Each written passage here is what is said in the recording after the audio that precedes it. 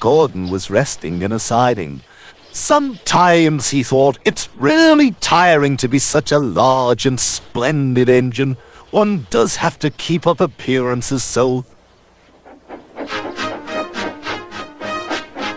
Peep, peep, peep, peep! Hello, lazy bones, whistled Henry. What cheeks, muttered Gordon. That Henry is too big for his wheels. How's he speaking to me like that? We was never had an accident.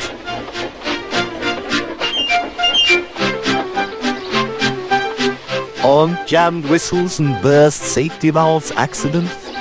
asked Percy instantly. No, indeed, high spirits might happen to any engine. But to come off the rails like Henry did, well, I ask you, is it right? Is it decent? Then it was Henry's turn to take the express. Gordon watched him getting ready. Be careful, Henry. You're not pulling the flying kipper now. Mind you keep on the rails today.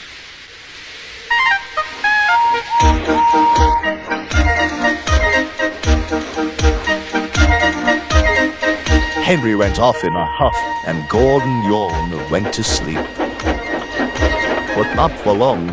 Wake up, Gordon, said his driver. A special train's coming and we're to pull it. Is it coaches or freight cars? Cars, said his driver. Cars, said Gordon. Pull. Gordon's fire was slow to start, so Edward had to push Gordon to the turntable to get him facing the right way. I won't go, I won't go, grumbled Gordon. Don't be silly, don't be silly, puffed Edward. Last Gordon was on the turntable. A movement had shaken his fire, it was now burning nicely and making steam. Gordon was cross and didn't care what he did. He waited till the table was halfway round I'll show them, I'll show them, he hissed.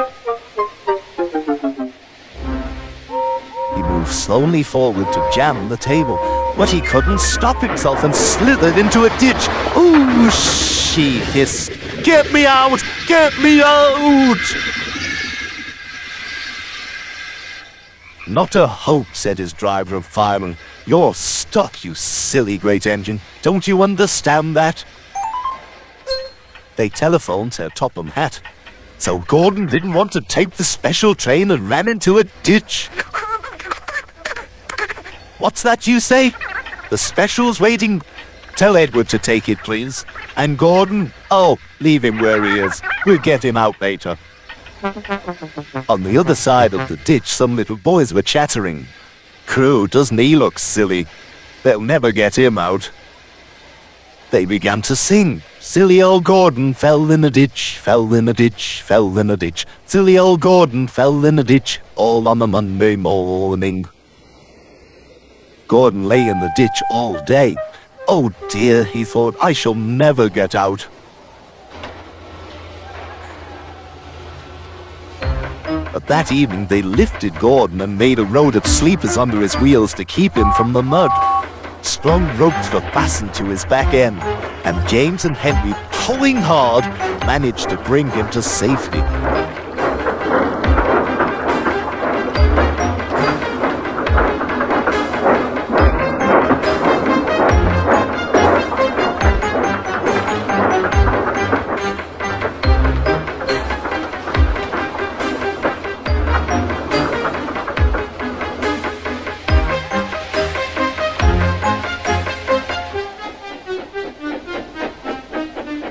Late that night, Gordon crawled home, a sadder and wiser engine.